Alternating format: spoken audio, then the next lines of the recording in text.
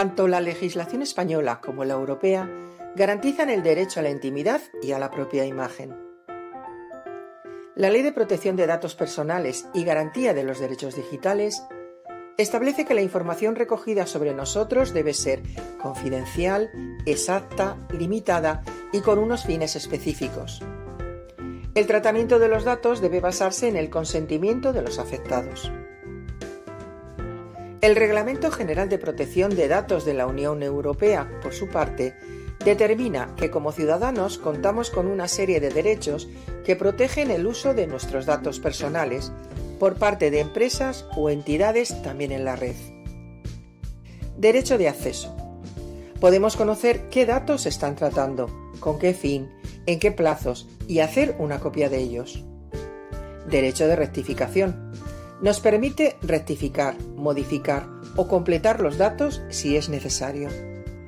Derecho de oposición.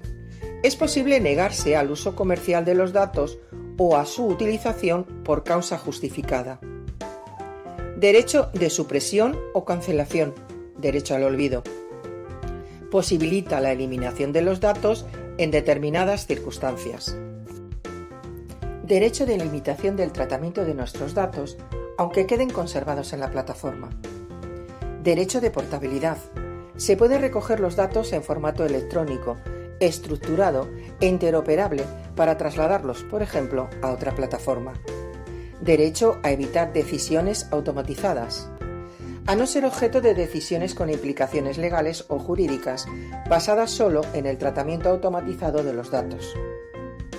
Derecho de información Podemos conocer al responsable, la finalidad, las bases legales de nuestros datos, la posible cesión de derechos y cómo ejercer nuestros derechos ante quien los gestione.